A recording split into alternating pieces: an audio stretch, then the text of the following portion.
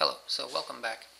Uh, last time we didn't, I didn't prove that the guest additions were working. I think the problem was that uh, I had not uh, restarted the system, so that's what I will do now. So right now I will just shut down and restart the virtual machine. So sudo shut down now. Yep, the system's going down. And I will uh, pause the screencast and reboot and, and restart when, uh, when all that delay is over.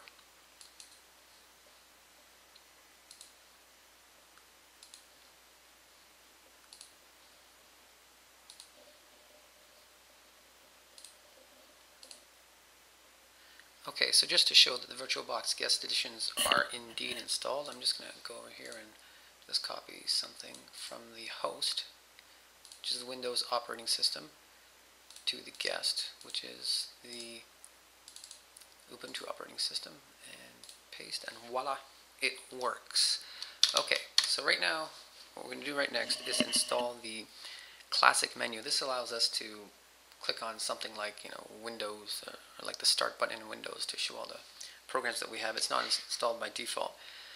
I don't know why, but anyways, let's just take care of that. So sudo apt add, not apt to get, but apt add repository PPA, full colon, D-I-E-S-C-H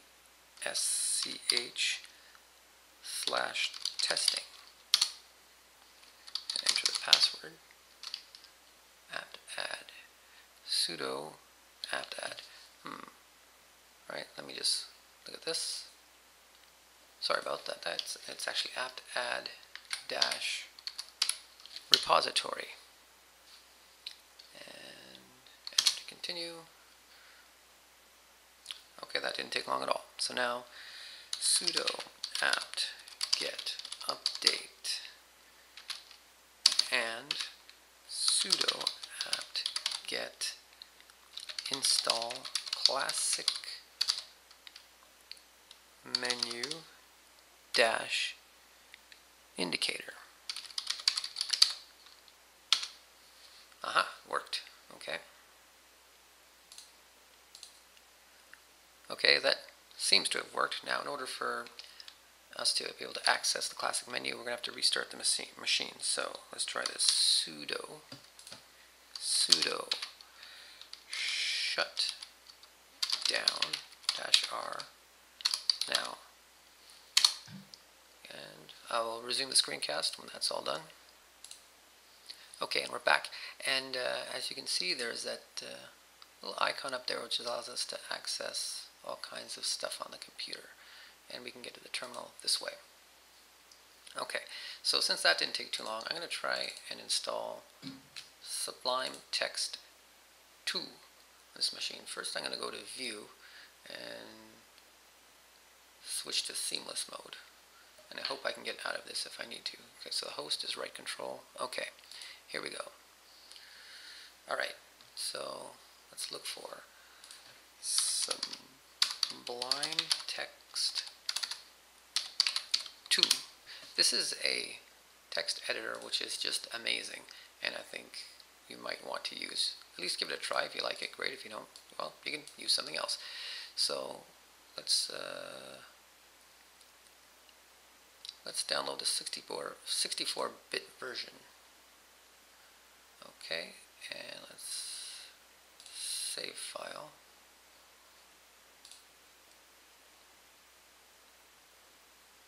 Actually, I have no idea where it downloads to, so what I'm going to do is this. Copy the link location, and in the terminal, I'll go into my home directory at cd tilde, and I'll, I'll use wget, wget minus c. This is very handy because it'll resume downloading if there's an interruption. You don't have to download all over again. Let's see if this works. Okay, great. It's downloading. Okay, now we're going to follow some instructions Let's close this window. Let's maximize that. I'm going to follow some instructions that I found on the internet where all good things are. I'll post the link here to this lib liberiangeek.net.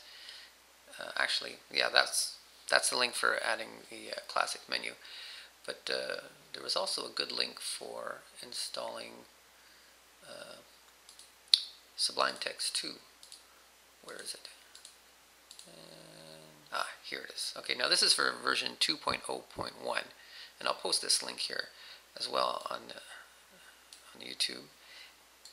But uh, we're just going to have to change this a little bit to accommodate our 2.0.2 version. Okay, so here we go. Copy and paste. So this command is tar space xf sublime and then these backslashes I guess are escaping the spaces and etc etc. Here we go. Okay, that seems to have worked. Now, next command. And now that we've untarred it, let's move it. Copy and I don't think we have to do any edits. Paste and let's move.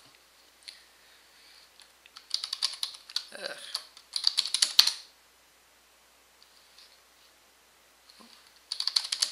I'm a clumsy typer. Okay, that seems to have worked, I think. And next command is to make a link, symbolic link.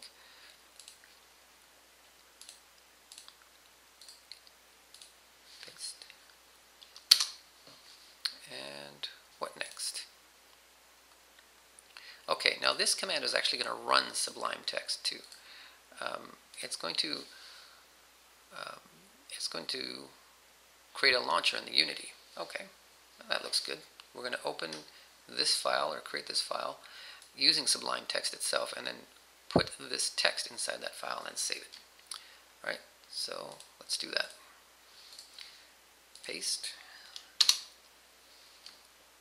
Uh-huh. And there it is. Sublime Text is open now. Let's copy and paste the text. So copy. Copied and paste. Yes. Control S to save. And then let's exit out of there. And what next? Okay, then one more thing we're going to do. We're going to use Sublime Text as the default for opening text files. I think it's a great idea because I think Sublime Text is just great. So let's do that. We're going to open this file defaults.list in that directory, user share applications, and replace all occurrences of gedit.desktop with sublime.desktop. So let's go. Okay, so let's maximize this. So we're going to do find and we're going to do replace gedit.desktop